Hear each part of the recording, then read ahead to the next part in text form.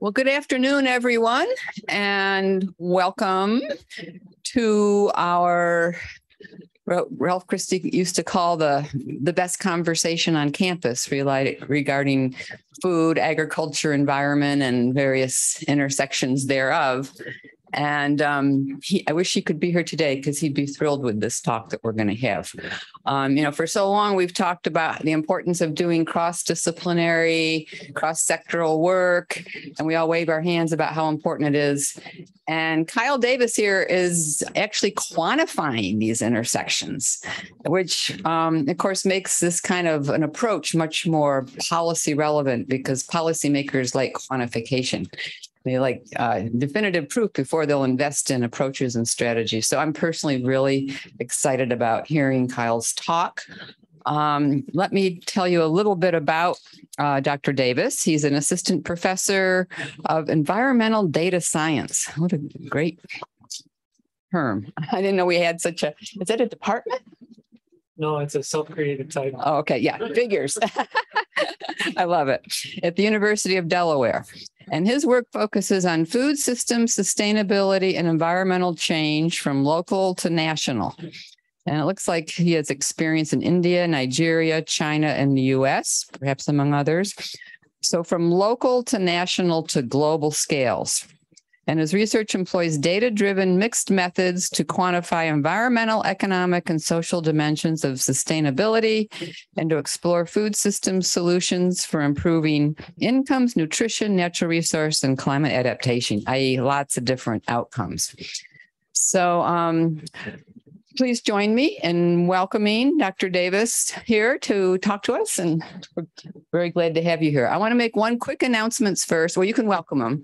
And then I'm going to do a first and a quick announcement while a few more people come in. That is um, anyone who would uh, enjoy having lunch and with uh, Dr. Davis after his talk is welcome to join, to come up to the front of the room here, and we will take you to a place where you can enjoy excellent refreshments and conversation afterwards.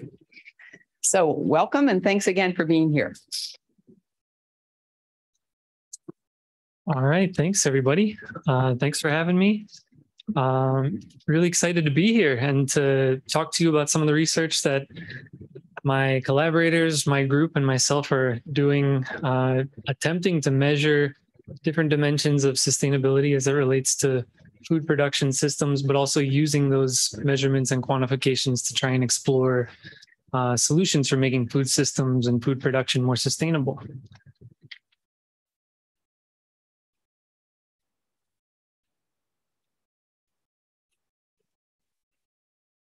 There we go. So, as you're all probably very well aware, achieving more sustainable food systems represents a grand challenge in multiple ways. And among those many challenges, there's a need to obviously increase food supply in the future, improve rural livelihoods, enhance the nutritional quality of our food production, adapt to rising climate change, and minimize environmental impacts. And to meet all of those challenges, to attempt to meet all of those challenges simultaneously. Uh, so this figure on the right is just showing the current state of planetary boundaries across different dimensions, and the dotted areas uh, are these authors' best estimation of agriculture's contribution to uh, planetary boundary exceedance. And it's striking that across many of these planetary boundaries, that agriculture is uh, really important and really influential. And uh, what what I attempt to do with my research is to reframe agriculture as not uh, a grand problem, but as a solution to many problems. So uh, I think that this figure demonstrates that well. And so there's this need to think about food system sustainability across multiple dimensions, but the outcomes of food production and food systems manifest themselves across multiple scales as well. Uh, so I've just put a few examples here across different spatial scales. So at local scales, changes in productivity can affect uh, local farmer incomes. At regional scales, you can have changes in upstream water consumption that affect downstream availability. At international scales, changes in production stability within one nation can affect food security within countries that rely on imports from that country.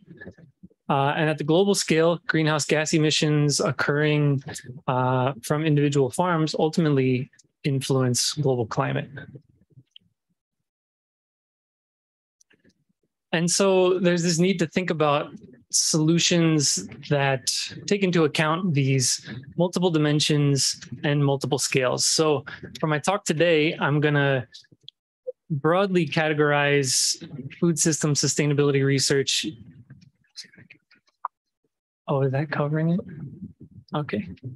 I thought that was just my screen. Thanks.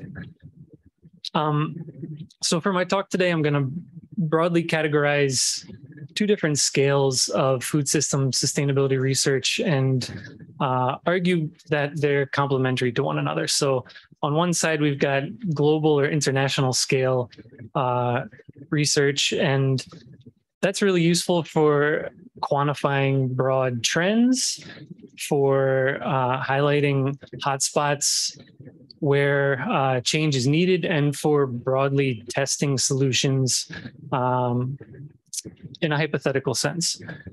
Um, those can feed into national, regional, local scale assessments that are really important for taking into account sociopolitical and cultural context and adapting specific solutions to specific locations. And so uh, these finer scale assessments can ultimately help to refine and inform global development efforts by making them more accurate and more effective, uh, and hopefully taking into account uh, these nuances that occur from country to country and place to place.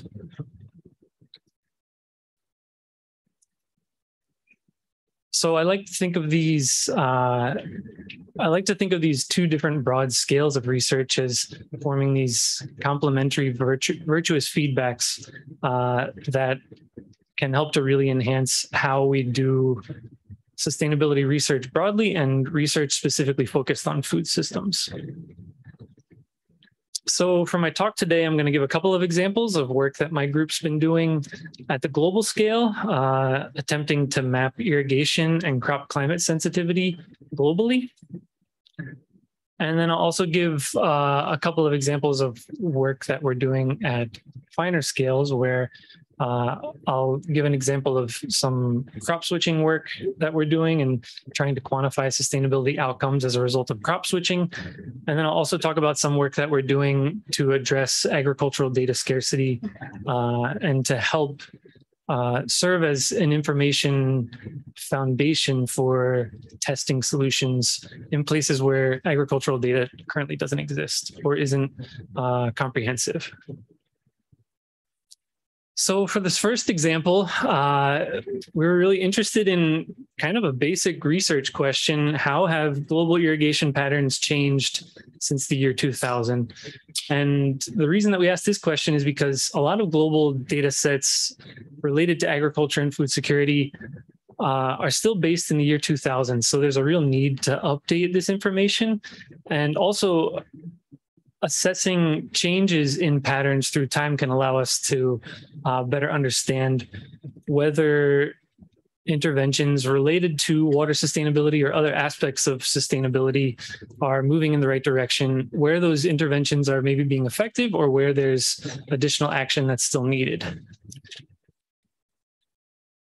So my group uh, assembled this global irrigation database where uh, we sourced irrigation statistics from the FAO, from the United Nations, from uh, a variety of reports from ministries of agriculture and irrigation associations. And so we were able to get, we were able to develop this database that covers uh, irrigation statistics, depending on the country, from the federal all the way down to the municipal level. And we combined that with uh, geographic information on country boundaries, on uh, land, and on land cover. Um, and then taking a couple of modeling and downscaling steps, we were able to develop these global gridded maps of irrigation uh, with decadal time steps up to the year from the year 1900 to 1990, and then with five year time steps for more recent years. And so I've dropped uh, some QR codes here in the presentation uh, related to different items that I'm going to be talking about. So feel free to scan away if you're interested more in a particular thing. Uh, this is a this QR code links to the the database uh, and maps for irrigation statistics, as well as the preprint for the the study that um, one of my students led. But uh, so feel free to scan. I'll try and leave those up to give people an opportunity. Um, but this is a global picture of what irrigation irrigation patterns look like currently. Um, so you can see some really characteristic places where we know that irrigation is heavily occurring. So uh, you can see like in the California Central Valley, in the US Midwest, in the lower Mississippi Basin here in the US. Uh, those are places where there's intensive irrigation happening, but uh, other places that I'm sure you're aware of where there's heavy irrigation that occurs northern India and the Indus Basin, uh, northeast China. You can see the Nile Delta here and the Nile River. Um, so I think this map is really compelling because it shows how widespread irrigation is, and it conveys how large, uh, how large of an impact agriculture has on global water resource use. And so because we develop these different time steps, we're also able to look at where irrigation's been increasing, where it's been decreasing. Uh, and so this is a map comparing the year 2015 and 2020 and, or sorry, year 2000 and 2015. And you can see there's a lot of heterogeneity. Um, the places shown in red and purple are where there's been irrigation decreases over the, that 15 year period. And the places shown in blue are the places where there's been irrigation increases. Uh, you can see in the US, uh, the Western US, for example, there's been substantial uh, and widespread decreases in irrigated area. Um, but there are also other places, like if we zoom into uh, India and China, there are places where there's been really uh, large increases in irrigation right next to places where there's been decreases in irrigation. So there's really a lot of spatial heterogeneity. Um, and some of the places where there's been the, some of the largest increases in irrigation are in northern India and in northeast China, where there are known to be uh, water scarcity issues and issues of um, continuing freshwater depletion.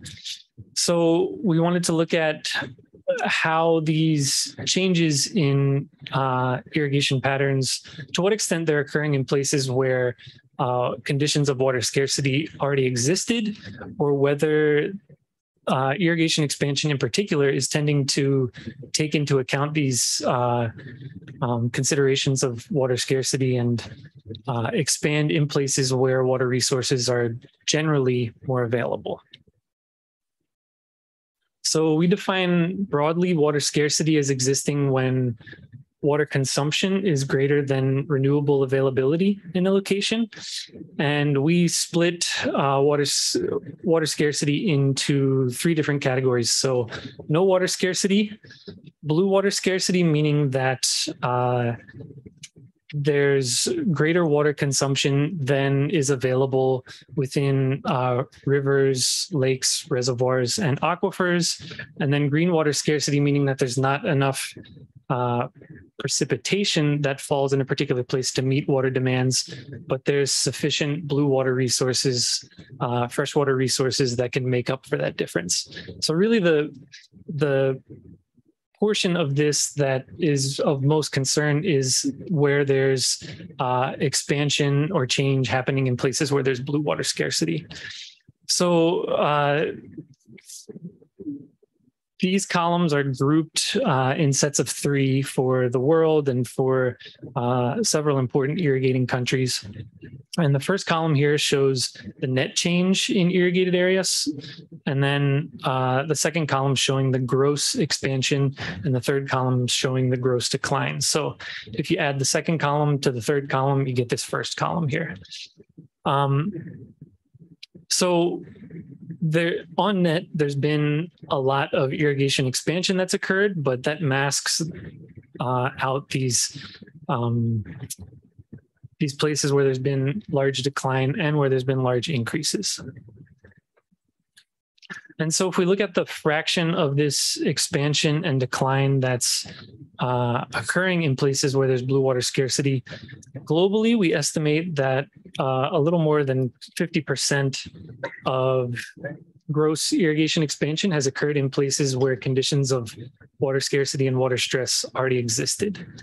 Um, but there have also been substantial declines in irrigated area in places where uh, blue water scarcity already existed. So to some extent, there's some offsetting that's been happening. Um, so moving on to uh, the work that we've done related to um, global crop climate sensitivity related, and this is related to uh, global irrigation expansion. We were interested in understanding where global crop production is most susceptible to climate related losses.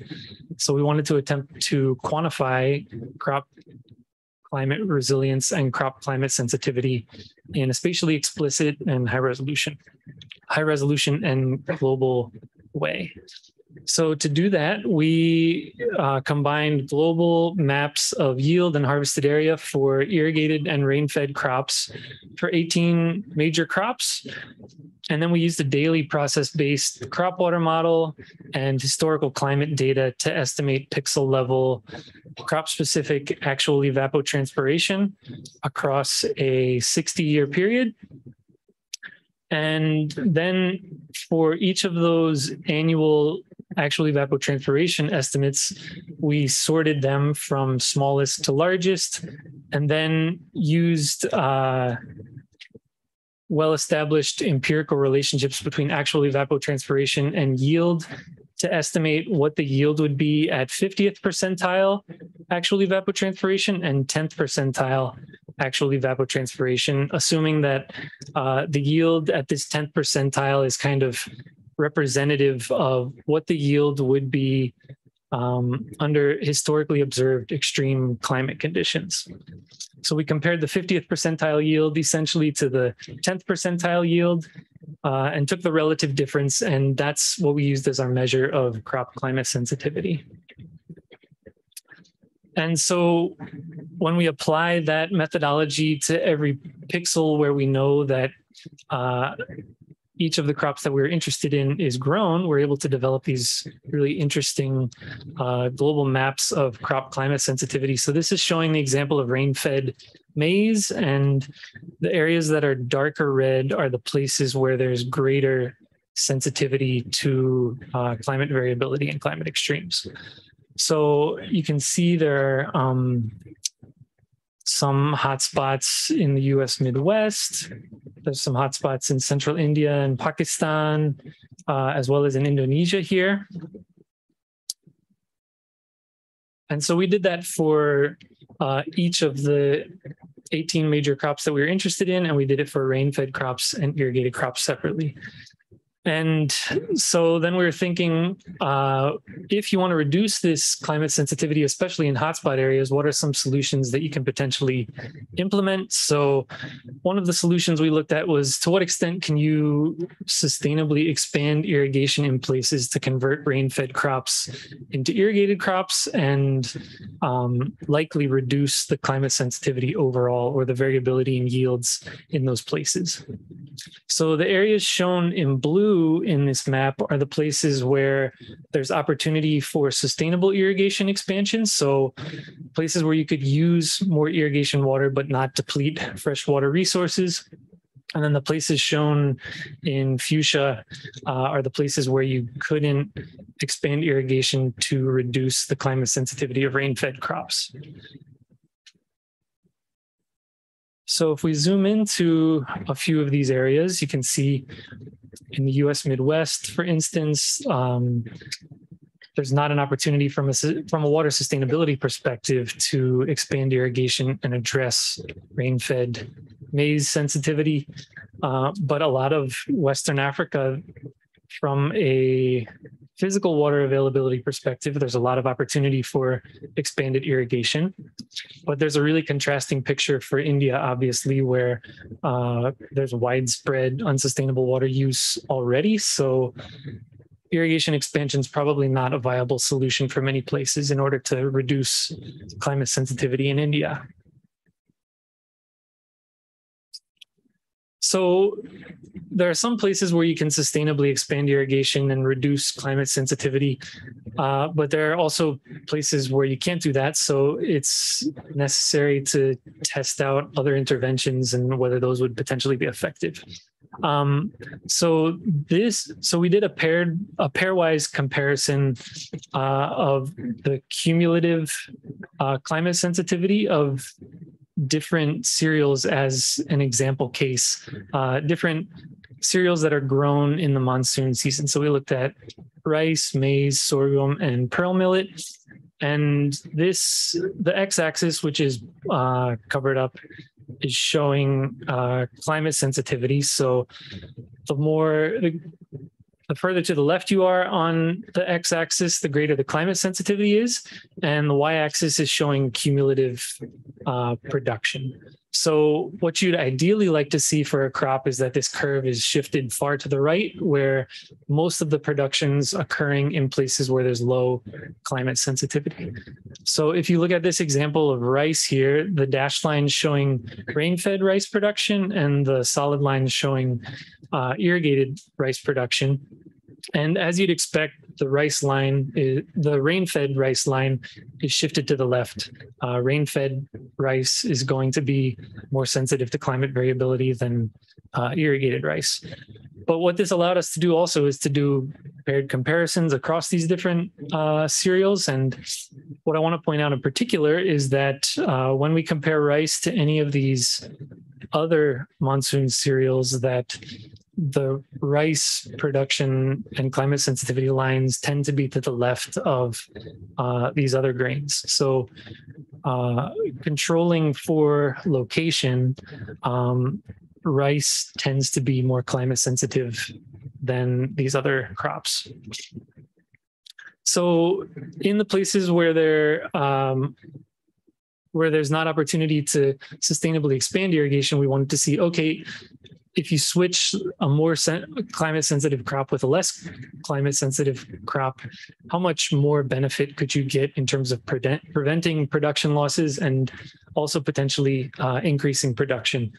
So we did that pixel by pixel, and this is just showing a, um, a country by country summary here on the right of the avoided uh, production losses from climate variability if you were to expand irrigation or switch crops, and the additional production that could potentially be gained by expanding irrigation or switching crops. So we found that uh, sustainable irrigation expansion can play a more important role globally, but there are lots of places where if you implement crop switching, it can potentially have large benefits as well. Um, and we found that a little more than 60% of rain-fed production losses associated associated with climate variability could be avoided through these two example interventions. So that's just a couple of examples of ways that uh, these global analyses can be really uh, great sandboxes or testing grounds for looking at potential solutions and identifying where solutions might be most effective. But they only global analyses only go so far and it's really important to take into account local considerations when you're actually attempting to fine tune solutions or implement them. Uh, so now I'll talk about some of the finer scale analyses that we've done um, related to crop switching and then uh, some of the work that we're doing related to agricultural data scarcity. So for this first, for the first example related to crop switching, I'm going to be talking about the example of India. And this is just to give you a broad sense of how cereal production in India has been changing over the past several decades. Uh, this the time series is a little bit outdated. It goes to 2009, but basically these trends have continued. Where uh, you can see that rice and wheat, shown in orange and gray, have continued to uh, dominate cereal supply in the country. And you can see that at the beginning of the time period, there was uh, a large portion of cereal supply that um, that was made up by some of these alternative or coarse cereals, maize, pearl millet, finger millet, and sorghum. But that by the end of the time period, yeah, rice and wheat have really come to dominate. And in large part, that's a result of Green Revolution efforts in the country to uh, prevent widespread hunger. And from this graph, it's really clear that India did do a good job of increasing overall grain production and increasing the availability of calories. Um, but that singular focus on uh, increasing calorie supply potentially led to trade offs across other dimensions of sustainability related to food systems. So, yeah, I'm going to be focusing on uh, opportunities for crop switching amongst monsoon cereals, so excluding wheat um, for, for the rest of this portion. So, one of the reasons that rice and wheat were promoted uh, was because they were high yielding, high performing crops. Uh, and rice tends to have higher yields compared to these other cereals that are produced in India, with the exception of maize. Um, the maize and rice yield distributions are nearly identical, but you can see that yields for finger millet, pearl millet, and sorghum tend to be lower than yields for rice. But it's also well known that uh, rice tends to have lower nutrient content for key nutrients compared to some of these other cereals. So, uh, one example of that is the iron content of milled rice. Uh, if you compare that to the iron content of these other cereals, it's um, quite smaller. And similarly for folate, there's um, rice. Rice has much lower nutrient content in that regard. And so there's lower nutrient content.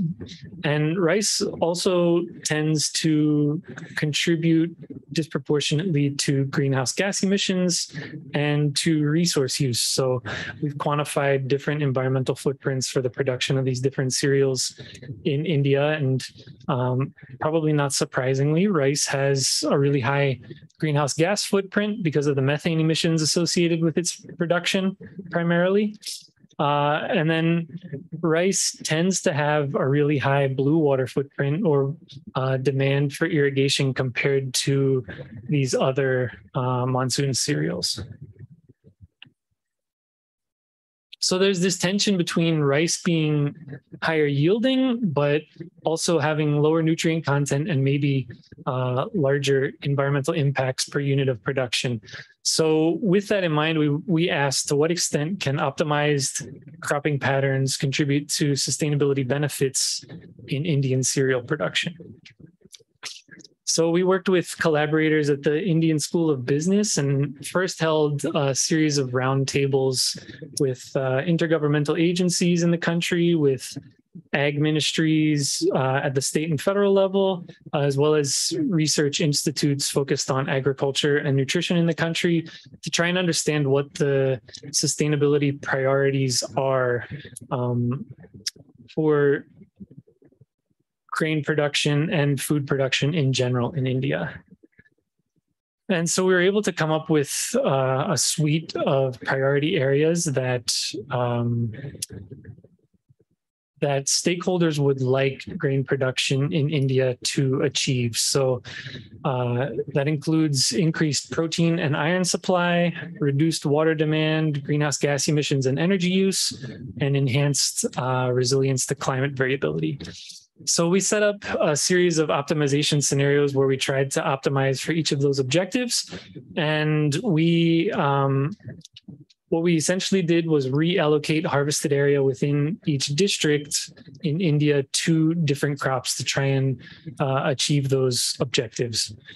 And we set uh, a few constraints that harvested area within each district total harvested area within each district needs to remain constant. Uh, that only crops currently grown uh, in a district could serve as a replacement for rice or could have harvested area either increased or decreased for them. And total calorie production for each state and at the national level needed to remain uh, constant or it couldn't decrease. So this is showing uh, the fraction of calories contributed by each of these cereals under the current situation, the bar on the left here, and then under each of our optimization objectives. So if we maximize protein, maximize iron, minimize water, minimize energy, minimize greenhouse gas emissions, or maximize resilience, what you can see is that consistently, regardless of the optimization objective, is that there's an increase in the contribution of coarse cereals to overall calorie supply. And then we're also able to quantify the uh, outcomes of these optimizations across these different dimensions that were identified as being of interest and priority. Uh, so what I'm showing here is the outcome in each panel. So this is total protein supply, total iron, etc. Um, and then each of the wedges corresponds to a specific optimization objective. So this red wedge, for example, is the scenario in which we try to maximize national iron supply. So if you look at the iron panel here, that wedge is the largest compared to the other wedges. Um, and the dashed line in each of these panels corresponds to the current situation. So if we follow this red wedge through, for example, we see that even though we're maximizing, trying to maximize iron supply, we saw that it increased protein uh, supply relative to current levels. It decreased irrigation demand, decreased energy usage, decreased greenhouse gas emissions, and it enhanced uh, climate resilience, where the dashed line is here at the origin.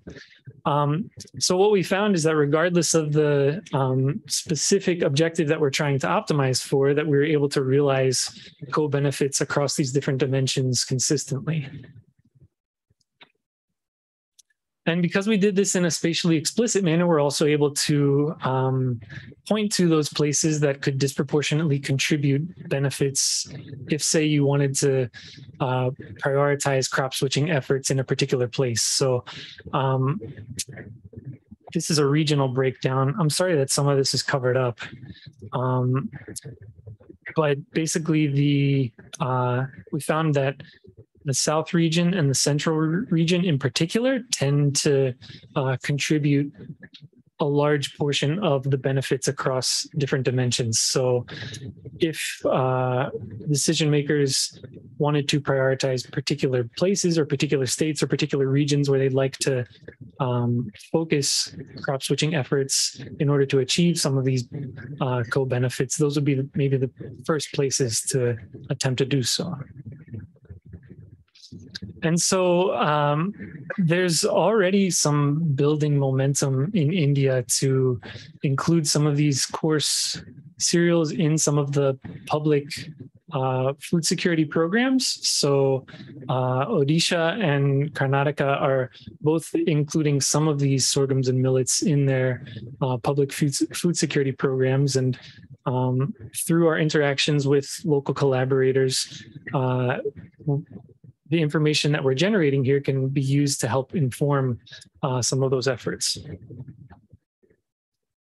So the last piece that I'll talk about uh, is related to addressing agricultural data scarcity. So that example that I showed for India was possible because agricultural statistics for India are really quite good and they're kept up to date and uh, it allows for those types of assessments directly but there are lots of places where agricultural statistics aren't uh, regularly updated um, and that can prevent an understanding of even the current state of food systems, food system sustainability, and food production in those places. So, uh, some of the work that we're doing related to agricultural data scarcity is focused on Nigeria, where I've been doing research since 2010. Um, I have, so I have a close familiarity with the country. And uh, one of the reasons that we're focusing on Nigeria, in addition to kind of my personal connection, is that uh, it's the most populous African country. It's a major food producer for the continent it's home to millions of uh, smallholder farmers, and it's endowed with abundant uh, natural resources that uh, equip it with large potential for increased crop and food production. But uh, agricultural information isn't regularly collected in the country. So the last ag census occurred in 2005. Uh, and the data that does exist either isn't digitized, it's not systematically collated, or it's just simply not available. So a lot of the databases can either be out of date or incomplete. And um, oftentimes the ag information that's available can be anecdotal. So some of the state level production estimates uh, can rely on expert opinion alone to estimate how much production is happening for staple crops in those states. So what this means is that the current state of information on agriculture in Nigeria is not yet uh, able to meet stakeholder information needs. So there's this critical need to know what's grown, where it's grown, and how much is grown. Pretty basic information needs that we're interested in trying to address. So we're working with uh, the Nigerian National Space uh, Research and Development Agency, so Nigeria's equivalent of NASA, uh, the International Institute for Tropical Agriculture, NASA Harvest, and um, Clark University to work towards developing regularly updated field scale information on staple crop production across the entire country. And so the first step in doing that is we're developing uh, an automated field delineation workflow where we're using planet data and other satellite imagery. Um, and we're developing training data sets where we digitize individual field boundaries. And then we use a deep learning classification to uh, classify pixels as either being uh, inside a field, outside of a field, or a field boundary. And then uh, we perform a final step of segmentation and vectorization to move from rasters to polygons to uh, delineate individual fields. Um, and so this is an example here on the right where we've got the raw satellite image uh, on the left and then kind of the final preliminary output of our field delineations on the right. Uh, and so what this can do is not only estimate total cropped area across the country, but also allow us to track how field sizes are changing through time, uh, to see whether there are certain places or certain fields that are dropping out of production uh, or new fields that are being added into production. So it can allow us to get a really fine uh, spatiotemporal understanding of how cropland's changing in the country. So then uh, complementing that, we want to know within each of those fields what's being grown. Um, so we're working with uh, a team led by Dr. Catherine Nakalembe at um, at NASA Harvest to use their uh, machine learning data pipeline to identify crop crop type. Um, so the code that they've developed is freely available. It's called Street2Sat. It's available on GitHub. So if you want to, if you scan that QR code, you can uh, see their code repository.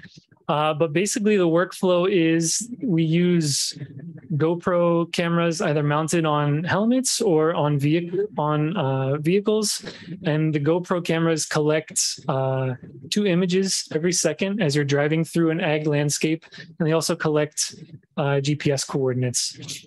So within this machine machine learning data pipeline that they've developed within each of the GoPro images that's captured, uh, they're able to identify uh, each of the individual plants within a specific GoPro image. Um, and so this is just one example. I'm not sure if you can read it, but these are boxes around every individual maize plant in this image. And so then for that image, you can assign either a single crop or several crops that are being grown in that particular field. And then because you know the GPS coordinate of the location where the photo was taken, uh, we're able to offset the location into the actual field itself. So then knowing the crop that's grown in the image and the location of the field that that image corresponds to, we can then generate a crop type uh, data label.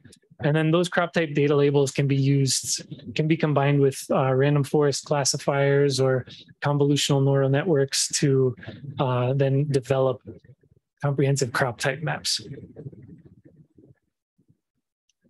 So this is just some preliminary work that we did uh, back in September in southwestern Nigeria. These are some raw GoPro images from the data that we collected. Can see some really nice examples of uh, this is a cassava field with some weeds underneath, a really nice, nicely maintained uh, soybean field here, a pretty weedy maize field, and uh, a really nice example of uh, a yam field. So you can see the vines and the, the yam mounds here. Um, and this is just a picture of the, the research teams. We also collected some drone imagery to get spectral signatures for these different crops. Um, and we took this photo with some really big cassava plants behind us. Um,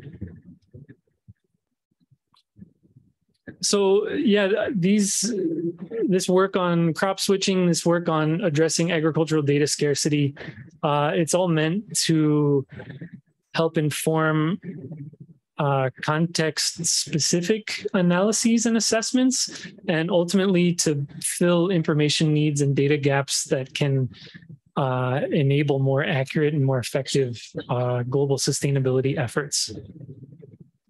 So just to summarize, uh, for the specific research examples that I showed, uh, some of the takeaways are that irrigated areas have changed substantially, and uh, much of the expansion that's happened in global irrigation has happened in places where conditions of water stress already existed.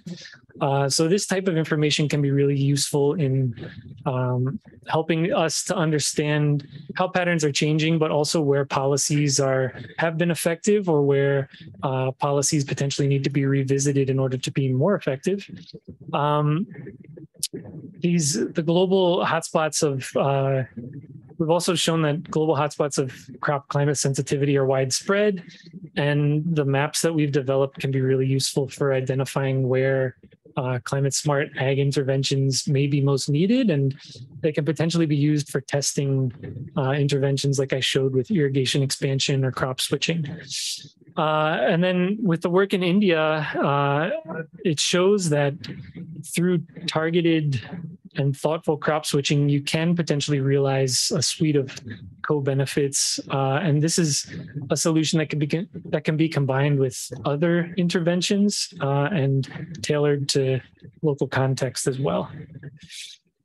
So the final thing I'll say is that I think all of these research examples point more broadly towards this towards directions that we can head in food system sustainability research for making food systems more sustainable um, and the first is to define sustainability based on a diversity of perspectives uh, and from a variety of stakeholder groups. And what that enables is protecting against solutions that are not inclusive or that are potentially detri- detrimental to some uh, groups within the stakeholder pool. Uh, the second is that once you've defined sustainability based on those stakeholder priorities, there's a need to quantify those dimensions of sustainability. And by quantifying them, you can actually measure what the current state of food system sustainability is. And you can also uh, objectively assess progress towards improving that sustainability. And by measuring those multiple dimensions, you can then assess co-benefits and trade-offs uh, of a particular solution, and that can enable ideally identifying solutions that promote win-wins and avoid uh, unintended impacts.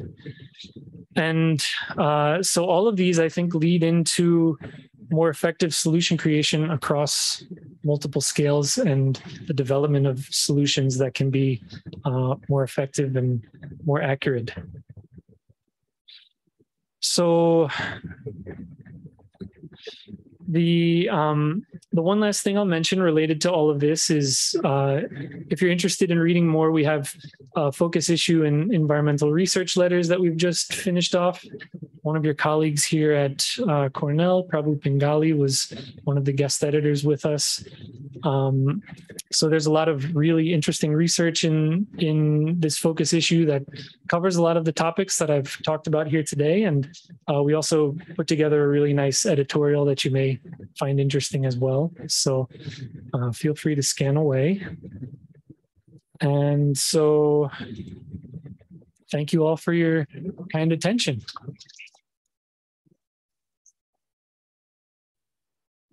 Fantastic. Thank you so much. So we have time for a few questions.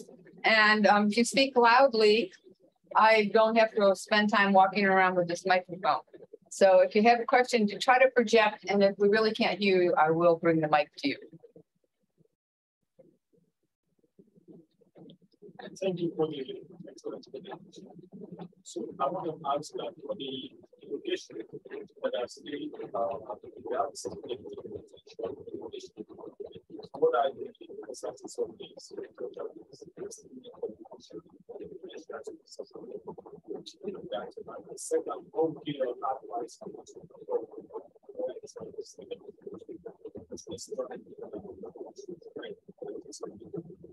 Okay, can you repeat the first part? I couldn't hear you quite well.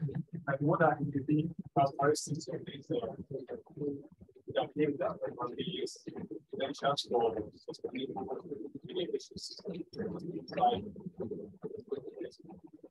Okay. Uh, yeah, so assessing the state of uh, sustainable opportunities for sustainable irrigation in different places it's largely for this analysis that I showed you, it's purely based on the amount of water consumption that's currently happening in a place compared to uh, the availability the availability of water in that particular place. Um, so that's purely kind of a biophysical perspective of opportunities for sustainable irrigation expansion, but there's a variety of uh, economic, political, social constraints that need to also be taken into account to enable irrigation infrastructure, access to irrigation, access to energy for irrigation pumping to actually occur. So those types of things require a local focus and uh, that's that's really kind of future work for for this type of assessment. That's that's a limitation of of the work that that we've done so far looking at opportunities for sustainable uh, irrigation expansion but they're really important considerations. And if you wanted to focus on uh, specific locations or specific geographies those are things that are necessary uh, and essential to take into consideration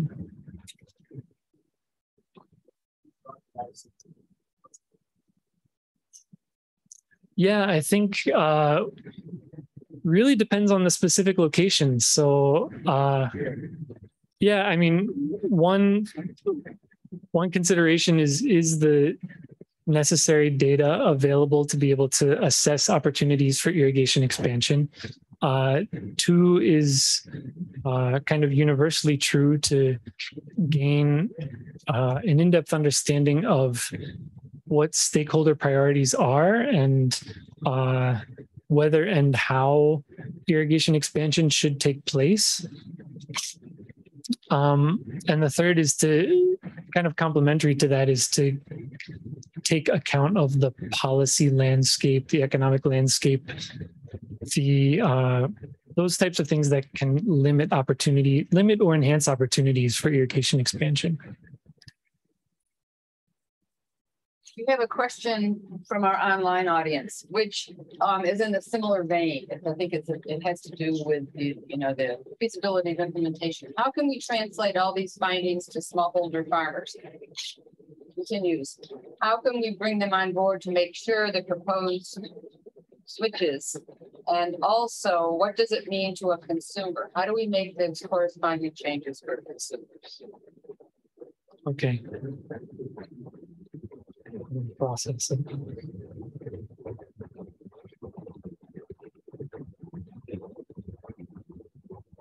Got it. Yeah. Okay. So related to the question about uh, how these findings are potentially translatable to smallholder farmers, I think uh, it requires engaging with local research institutes, NGOs, um, and ensuring that smallholder farmers have a seat at the table when sustainability is getting defined, when priorities are being laid out for the types of interventions that are potentially needed. Um, the global scale analyses that I presented are really interesting thought experiments, but they're not useful for uh, deciding that a particular that a particular intervention is beneficial to a smallholder in a particular location. They're useful for broadly pointing to areas where interventions might potentially be effective, but uh, if you uh, if you want to help implement a solution that can potentially be beneficial beneficial to uh, smallholder farmers, you need to involve local extension agencies, local uh, research institutions, and the smallholder farmers themselves to understand that that's something that they actually want to change and that they perceive that that they will find beneficial to themselves. Um, and what was the second question? Bringing consumers on board. Okay. How do we do that? Uh, yeah, so a lot of this, all the work that I presented here is production focused, and consumers are many steps removed from what's going on uh, at the production stage. And in many places, consumers, uh, fortunately or unfortunately, exercise limited influence on over production choices. Um, so, from a sustainability perspective, I think uh, it's good to be aware of the environmental impacts that your dietary choices are having, but the extent to which uh, your choice over uh, a particular dietary item might benefit a smallholder or a farmer in a particular location, uh, it's just not realistic to expect that a dietary choice is going to benefit at benefit producers at that scale. Time for one more. We'll go right here. Many governments subsidize production, so that becomes a stress on the great market, right? So oftentimes it's local production, stress on water. So the subsidy is the way to sustain. That's subsidies are one way to certainly influence production patterns and consumption patterns. The example I gave for India is perfect example where uh, the government has provided minimum guaranteed prices for rice and wheat production to smallholder farmers, and uh, that policy has been one of the big drivers of increasing production but it's produced environmentally perverse outcomes. Uh, so if uh, a greater suite of outcomes is potentially taken to taken into account when you're developing these subsidies, you can uh, theoretically shift production patterns towards more sustainable choices. But that comes with one identifying what that particular country or stakeholder group uh, perceives sustainability to be, and also generating the necessarily necessary political will to actually enact those subsidy changes as well. Thanks. Well, thank you very much, Tyler.